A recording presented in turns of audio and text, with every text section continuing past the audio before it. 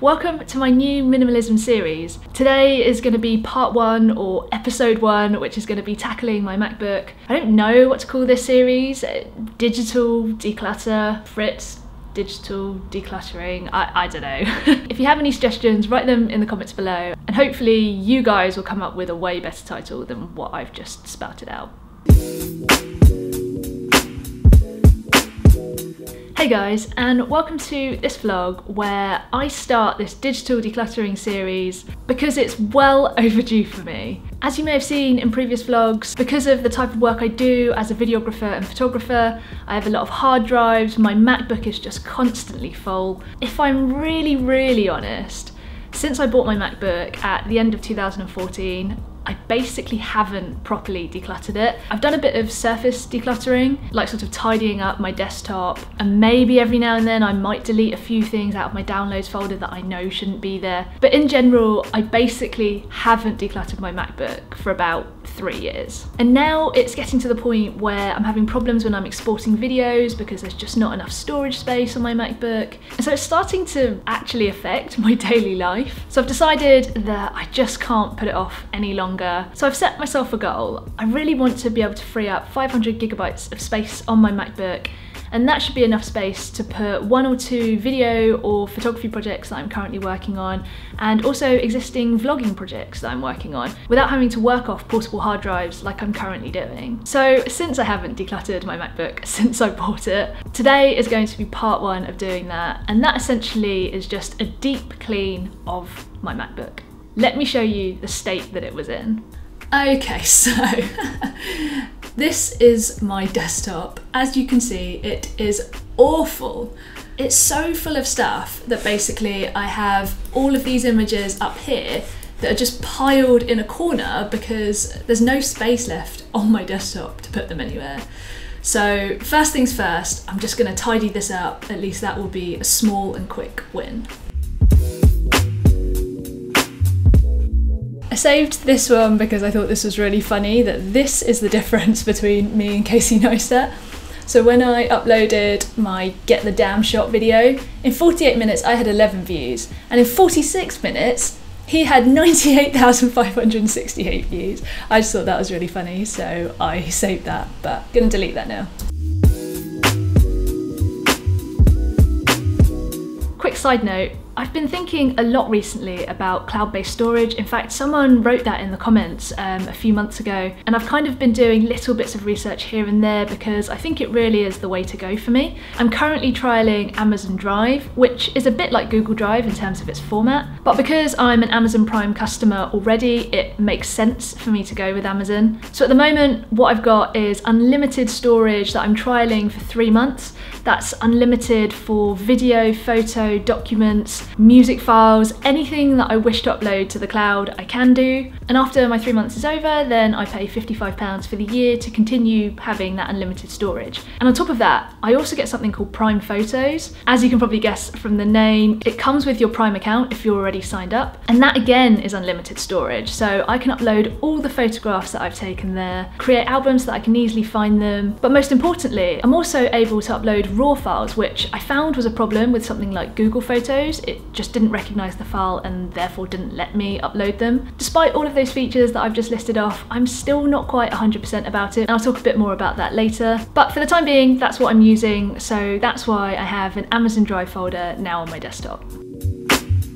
Okay, so here we are. This is my absolutely empty desktop wallpaper, which I'm very, very happy about. It has not looked like this in a very, very long time. So this is looking great, really enjoying how this looks. Got a bit of momentum now, so um, let's just tackle the rest of it.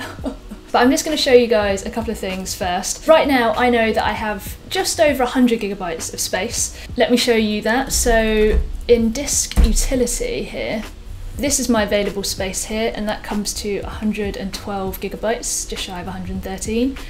And this is how the rest of my space is used up. As you can see, about 61 gigabytes is for apps, over 300 gigabytes for photos, tiny bit, 10 gigabytes for audio, 152 gigabytes for movies, and then other.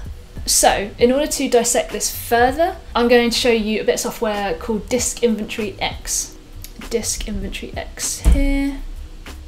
Okay, and if we open this up, essentially this is now just scanning every file that is on my computer and then it will list in order of size from the largest file to the smallest file so that I can then quickly go into those and delete them if I find that I don't need them and just keep this momentum going so that I can free up as much space on my computer as possible. So I went through as many files as I could through Disk Inventory X to get rid of a lot of large files that I didn't need anymore. That included my applications for any software that I wasn't using anymore but was just still installed on my MacBook. And then there was my downloads folder. The downloads folder, I think, is probably one of the easiest places where you can just store things really unintentionally and you kind of just forget. And over time, a lot of that storage space can get used up really quickly because we're just downloading things online and it all gets stored there, most of which we probably actually don't need anymore because it's kind of served its purpose. I was 100% completely guilty of this.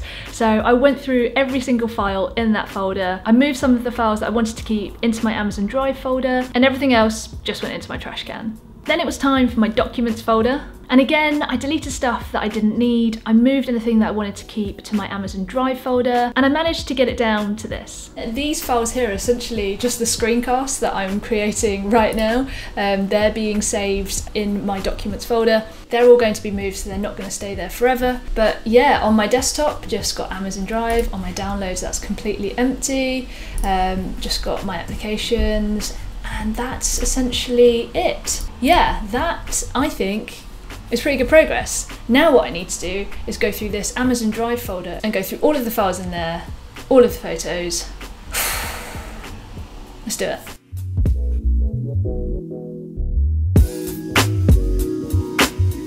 So I managed to get my Amazon Drive folder to look like this. And this is what it looks like on Amazon Drive itself which is much tidier than before. In total, I've only uploaded about seven gigabytes of stuff. That's not including my photos, by the way.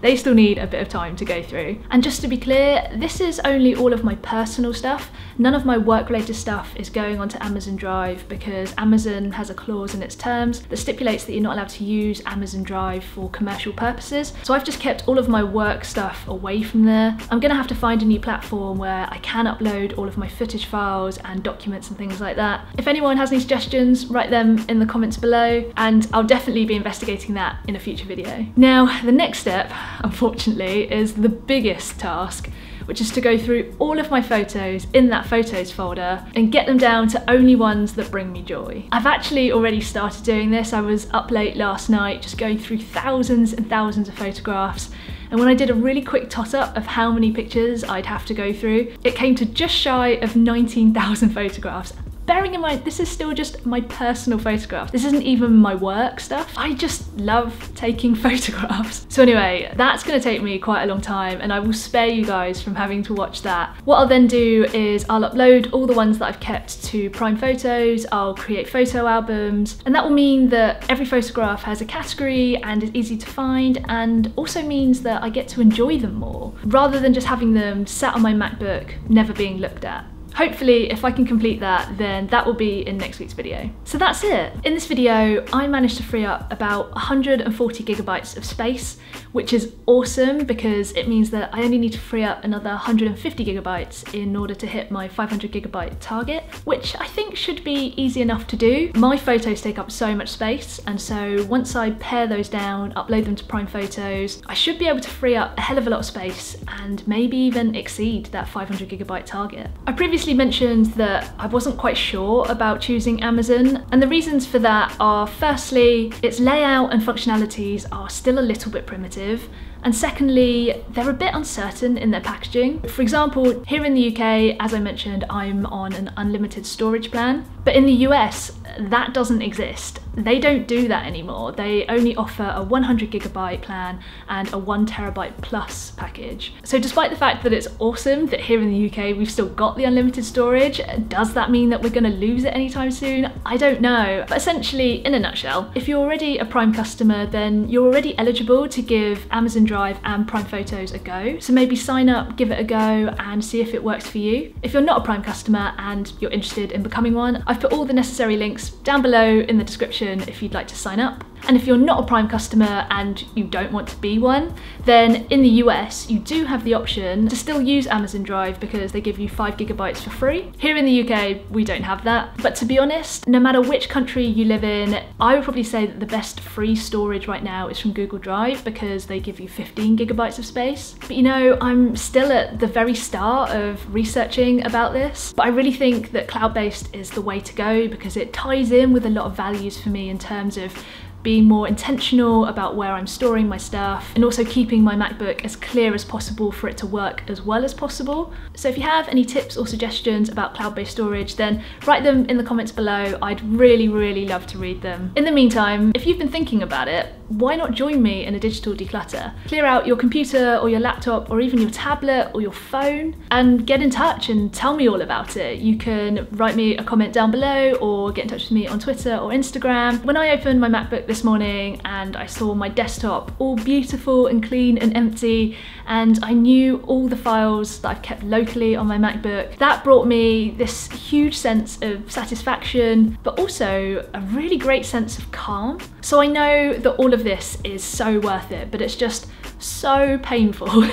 and knowing that maybe a few of you guys are coming along on this journey with me would be amazing. And all that's left to say, as always, is thank you so much for watching. Give us a thumbs up if you like this video, hit that subscribe button if you haven't already, and I will see you guys with a new digital decluttering video next week. Okay.